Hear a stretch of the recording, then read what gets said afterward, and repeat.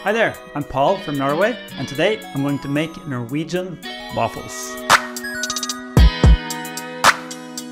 So in Norway, waffles is not typically something we eat for breakfast.